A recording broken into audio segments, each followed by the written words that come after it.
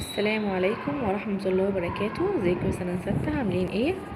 آه، ان شاء الله النهاردة هناخد lesson 2 unit 2 في امتحان شهر أبريل إن شاء الله. وهنبتدي درسنا ان هو ال dangers of electricity اللي هي أخطار الكهرباء أو مخاطر الكهرباء. uses of electricity ناخد فكرة عامة كده. هي إيه استخدامات ال electricity في حياتنا؟ طبعا cook food بنطبخ الاكل استخدام ال cooker البوتاجاز preserve it cold باستخدام ال refrigerator and lighting houses بننور البيوت وال factories وال streets الشوارع. operating machines وبنشغل بيها الآلات زي ال TV والأجهزة زي ال TV والراديو. بنقسم ال materials عندنا نوعين من حيث conducting electricity في electric conductor موصلة لل electricity وفي insulator عازلة لل electricity ما بتوصلش.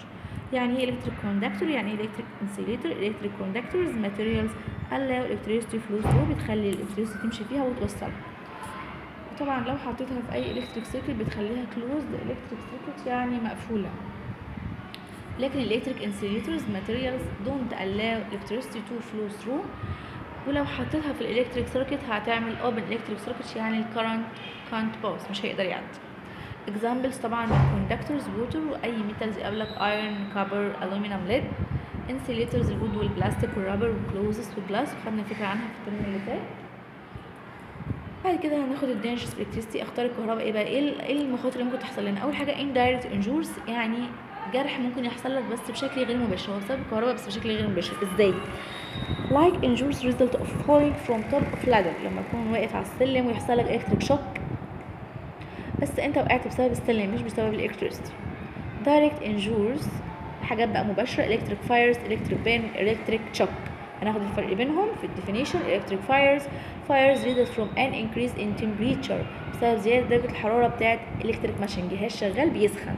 طب electric burn burn result from electricity and cause damage of body tissues. ده حرق بيحصل لجسمك لاحظ معايا لجسمك بسبب الايه؟ ال body tissues بتاعتك بتتدمر بسبب ال electricity ال electric shock بيحصل passing electric current بيمر كده في جسمك وبيخرج تاني.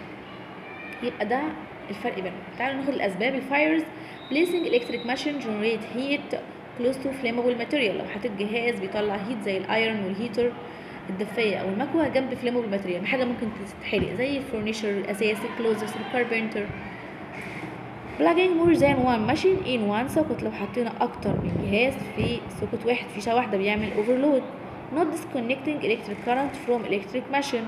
لو فصلنا الكهرباء عن أي جهاز بيطلع نسينا نفصل ال electricity عن أي جهاز بيطلع heat بالتالي هيحصل لنا إيه؟ هيحصل لنا electric fire. تاني حاجة عندي electric burn. the electric burn اللي هي burn result from electricity بتسبب لك damage لل body tissues كلها بتتدمر. آه، إيه ال reasons بتاعتها؟ part of your body جزء من جسمك يعمل touch electric current تمسك كهرباء. Part of your body touch fire or spark. تمسك إيدك تمسك حريقة أو تمسك شرارة بتاعت حرق جاية من ال electric fire فاكرين ال electric fire لسه قايلينها يعني مثلا جهاز شغال وبيطلع heat فمسك في furniture في شقتنا أو أي carpet طيب لو أنا بقى مسكت ال fire دي بإيدي هيحصل لي electric burn part of your body touch machine generate heat as electric iron أو heater مسكت المكوى وهي شغالة سخنة مسكت ال heater ده بالتالي هيبقى اسمه electric burn.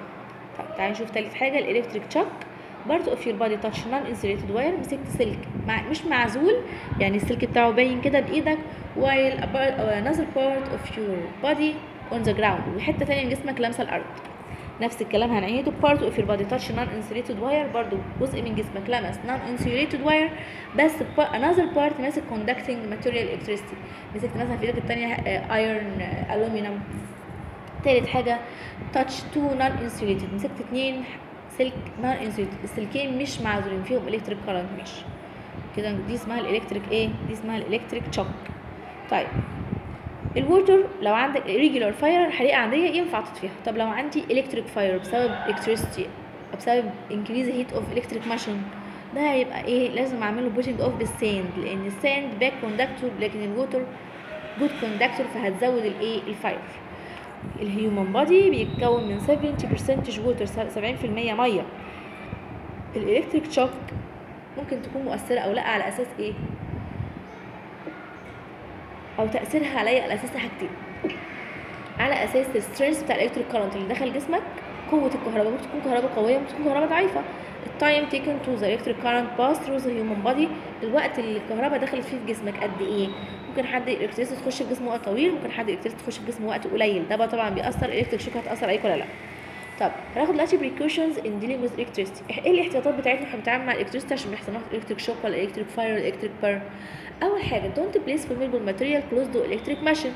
ما احطش حاجة. ينفع تتحرق قابلة للإشتعال جنب ال electric machine بيطلع heat جنب مثلا iron أو heater don't insert metallic object in socket. ما تحطش حاجة معدن زي نيل زي metallic wire. Don't place several connections in same socket ما تحطش أكتر من وصله في نفس الفيشه don't touch electric machine connect to electric current with with hand ايديك ما تكونش مبلوله تمسك ماشين شغال ومتوصل بالالكتريستي don't play with electric connection ما تلعبش بالوصلات الكهربية don't fix or clean machines while being connected to electric circuit ما تصلحش ما تعملش fix ولا clean ولا تنظف اي آلة شغالة متوصلة بالكهرباء don't place electric wire extending on the ground. ما تمسكش بإيدك أي سلك هو وانت على الايه على الأرض.